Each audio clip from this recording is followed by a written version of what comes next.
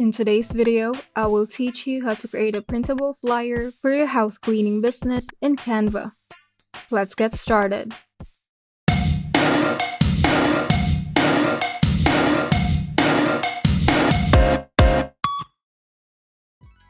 First, open Canva, and in the home page, type in the keyword flyers on the search bar if you would like to customize one of the thousands of available printable flyers for different businesses in Canva's template library.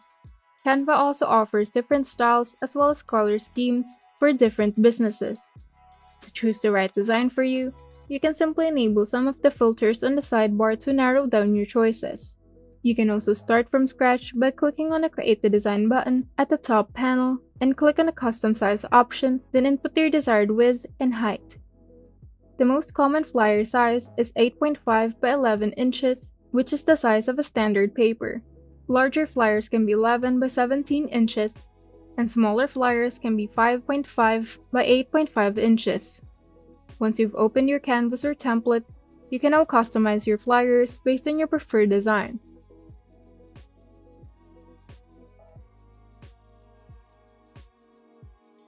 If you would like to be more precise with your work, you can enable the guidelines, print bleeds, and margin in the File tab. To add images and brand elements, you can simply open the Uploads tab to import images from your computer. In case of the Elements, you can add illustrations and graphics from the Elements tab. Simply search the keyword for different types of elements, and in case of your house cleaning business, Canva has a vast collection of elements under the house cleaning keyword. To add text, simply open the Text tab and select which type of text you would like to make, or simply use the text combination presets in the text library. And on the top panel, you can change the font style, the font size, and the color of the text. Make sure to include your brand logos, colors, eye-catching images and illustrations, an attention-grabbing title, and just enough text to get your point across. Make sure to also add contact information like your website, email, and phone number.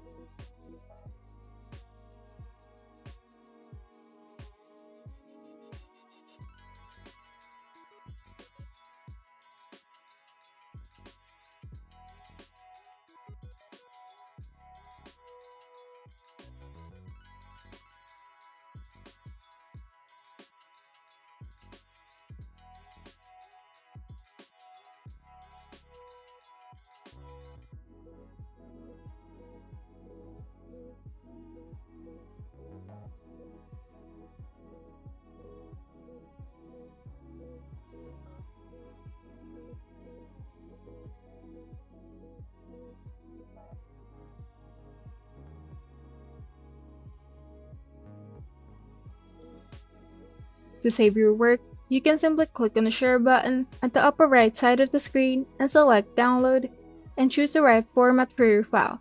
I highly recommend either using PNG or JPG as a file format. And you're done. If you found this video helpful, kindly like and subscribe. And if you want to see more tutorials, turn on the notification bell so that you can be updated whenever we upload new tutorials.